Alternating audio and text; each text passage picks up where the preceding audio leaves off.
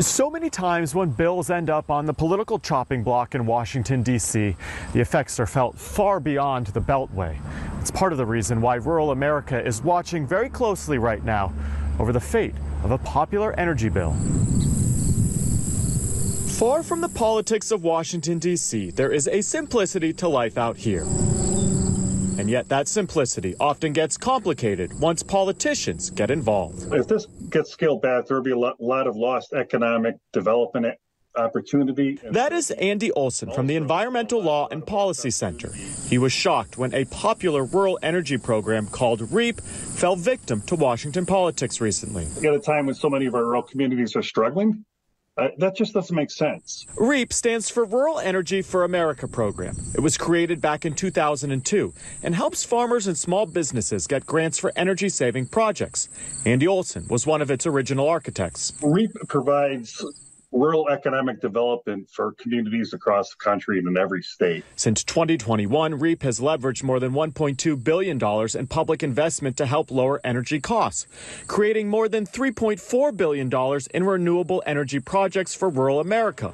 Back in June, House Republicans, though, proposed slashing the program by nearly $500 million. It is disappointing to see um, REAP being treated as a political football when for so long it's been, you know, had bipartisan support. Many projects already in the works are in jeopardy if funding gets cut. Since 2019, the eastern shore of Maryland has received more than $270,000 in rural energy grants from REAP.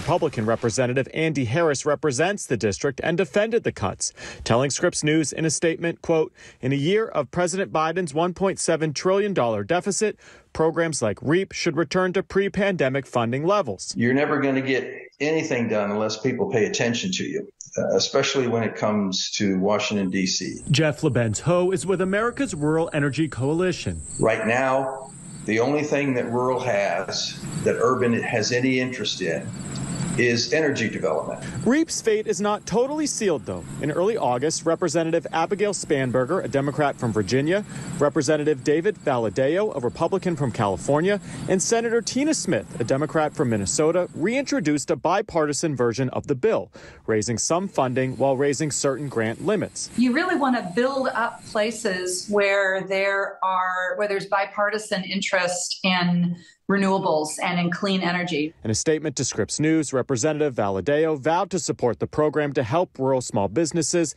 and farmers lower energy costs. It's very important for our, our rural communities to have these investments in agriculture and in rural small business.